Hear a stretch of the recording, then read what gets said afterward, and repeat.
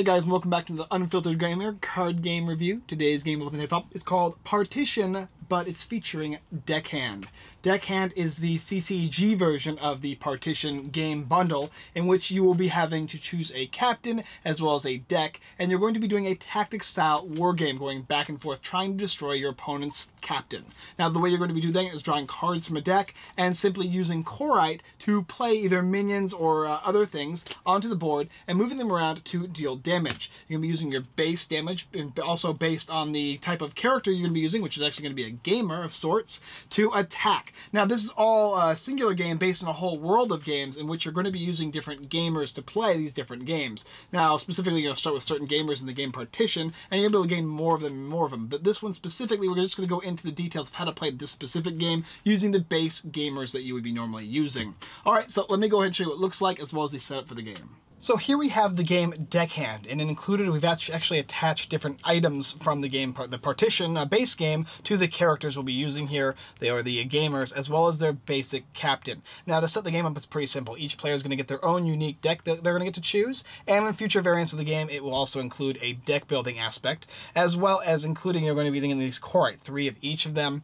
Players are going to get a hand of five cards from their deck, as well as putting all the life tokens, character tokens, and uh, ability action tokens here. You're also going to have a little board. This is going to be a three different cards. Just going to put them together just like that to form the field. And then make sure, yeah, you've shuffled and drawn. Uh, you're then going to take your hero and place it, or your captain, and place it on either side of the board from each other, just like this. And this is going to be the game board. You're going to have nine spaces in which characters are going to move around. Each of the characters has a range, a base damage, and health, as well as the type of character it is and from what game it's from. Some of them are going to be uh, passive abilities, like this one he can move adjacently, when normally you can only move up, down, left, or right. And then over here, he's he can spend a Corite to allow himself to draw a card and it can't be formed more than once. Uh, this character also has abilities as well. In your hand of five cards, after you've drawn them, you can choose to mulligan once, and then you're going to keep what you have. Each of the cards is going to have a cost, which is going to be on the top right-hand side, as well as what game it's from over here, or the type of deck it's from, and then over here is going to be the range, same, same old same, as well as the different passives or active abilities you're going to be using throughout the game. You're going to be able to spend these Corite as uh, money and placing them down on the board, which you're going to be trying to fight the captain. So let me tell you about a turn and how it's going to work to try and destroy the captain on the other side of the field. In the game Deckhand, it's pretty simple. You're going to be using your character's W factor and X factor. W factor is for the main attack, X factor is going to be for that counter attack. You're also going to use any equipment attached to your characters, and you need to make sure you select the character best for the job because you only need one player to be uh, using this specific deck. You're also going to start with five cards in your hand. Now, if you're playing as the first player, you can draw a card at the beginning of your turn, like any other turn, but you're only going to use two Corite to start your turn off. Every turn after that, including the second player's first turn, you'll get three Corite to spend. And you'll be spending it to buy cards, and they have the cards prices up here, the right top right-hand corner.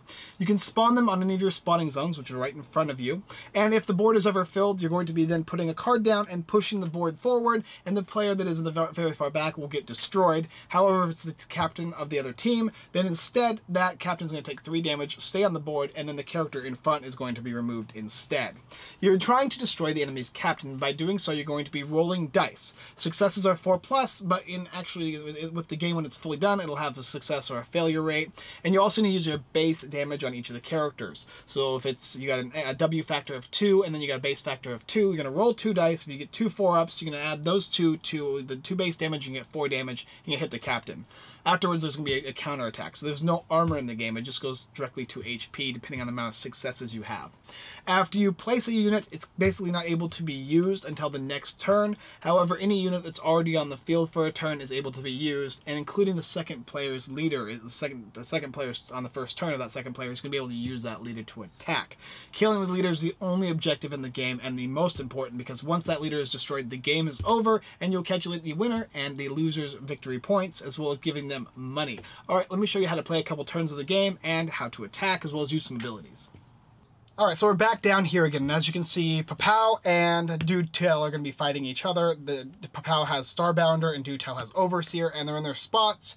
Every player's got their five cards, and since Papau's going first, he's only going to start with two Corite. You've got your five cards to start, and he's going to begin his turn by drawing a card. He's going to look through his hand of cards to determine what he wants to play. This one here is pretty strong, but he can't play it because it costs three. This one here does damage, uh, to each enemy crew. This one here will heal his crew. This one here is a simple character. And then we've got a Brazen Mercenary. We'll play that one for two. That says that uh, the first attack adjacent uh, against this crew member is ignored, so we'll put this little here token here to remind us that that's what happened. Now, you can move your characters up, down, left, or right, but you can't attack adjacently, you can't attack diagonally, and you cannot move diagonally. However, with Starbounder here, he can because he has a passive that says Swift and allows him to do so. Uh, he will just go ahead and end his turn there because he can't use his unit the first time he summons it. He doesn't want to move his captain. The next player is going to go and uh, he's going to simply draw a card from his uh, deck. And he's going to then, he's got three Corite to spend as opposed to uh, two Corite. And he will summon, let's see what's good here. The Unbroken. When he attacks an enemy, it damages every enemy in that target's zone. One range, two base damage, 9 HP. You can summon him in any of these locations he'll summon him there. And I think he'll also leave his Overseer right there. We're not going to have him moved. And uh, once again, the game will continue. The next player is going to draw his card. And what does he got here? He got a crack shot. What's that say? Assign 5 damage to a, one crew. That's pretty good. How about Fusion Trooper? He's strong. He's got his 3 Corite. He'll spend the 3 Corite. And now let's go ahead and get into some damage. So move this character up one, and uh, he's got a range of one, which works. If it was a range of two, he'd be able to shoot from here, and he's got a base damage of three.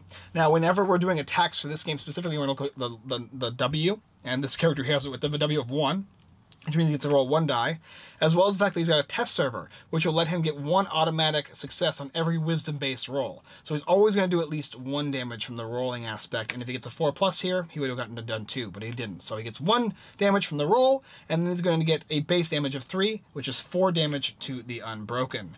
So the Unbroken has 9 health and took 4 damage. And then now he gets to do a counterattack. And counterattacks is done by the X Factor of Dutel, which is 3 here. So he'll take 3 damage from the Unbroken, roll the die. He's got 2 plus a base damage of 2, which is going to be 4 damage back. Attack and counterattack. And when that happens, this, this, this ability triggers here, and we remove that, and he doesn't take the damage. But the next time he will, he does. Uh, he can then and make sure you use everything for the character movement and attacking or attacking and then movement and then the character is frozen and then you can use your next character. He was just summoned though so this guy can move up if he wants to. I think he'll do that. Remember though attack, uh, captains cannot attack each other though. They're only going to attack the other little mini guys here but your objective is to attack the other player's captain with your minions and try and destroy them. So he is uh, going to be done and now it's uh, the uh, Overseer's turn. He's going to draw a card.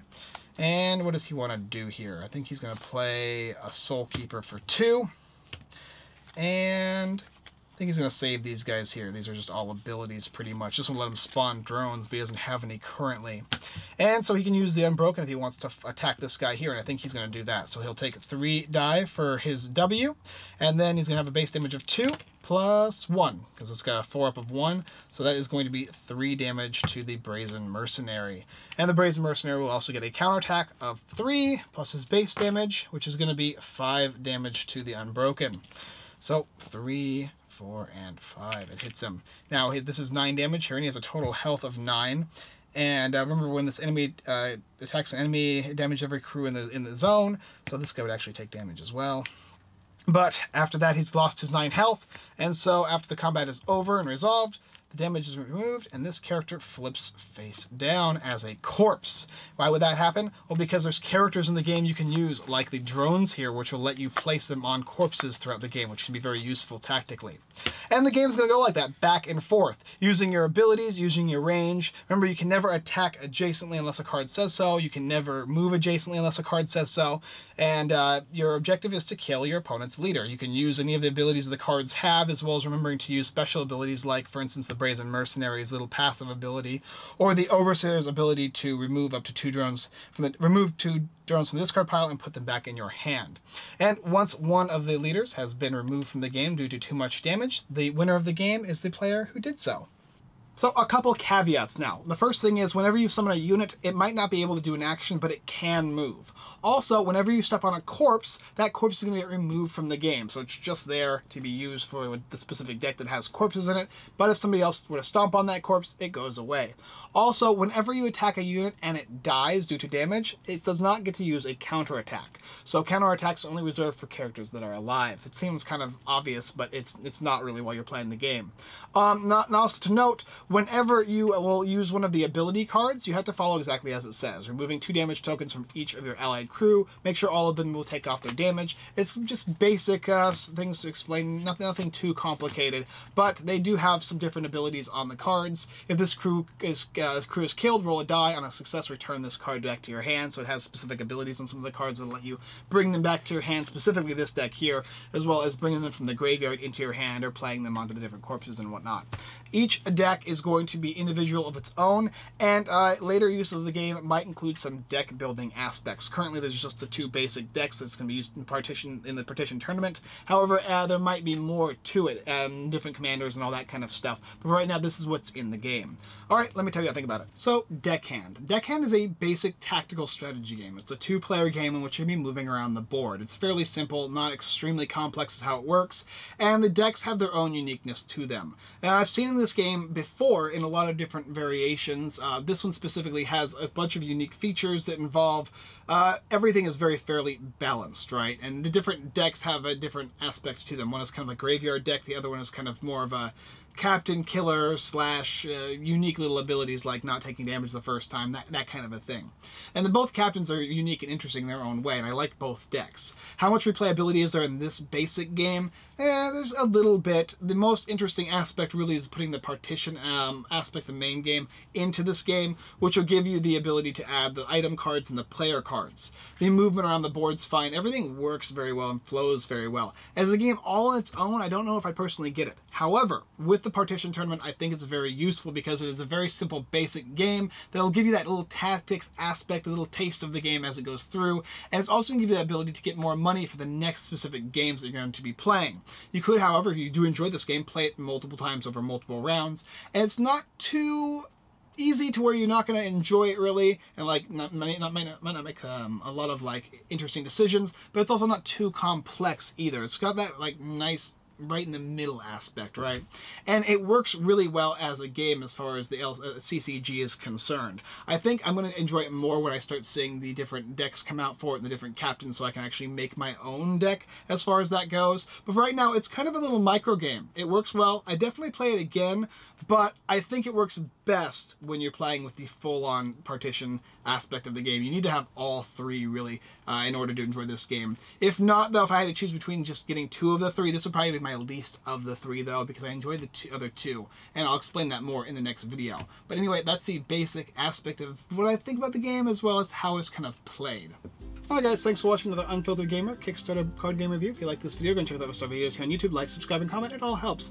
As well as checking out Partition and all three of the games included. If you want to see a couple other of the games in, in this little bundle of games, check out the rest of our reviews. They're either coming out or are already out in the description below. Also, go check out our website, unfilteredgamer.com. Got tons of blog posts, giveaways, Kickstarter lists, and more. And our friends, uh, everythingboardgames.com, The Giveaway Geek, and Ferdinand, the Cardboard Stacker. Tons of reviews and tutorials there. Alright guys, let's all go for this one, and as always, look forward to seeing you next time.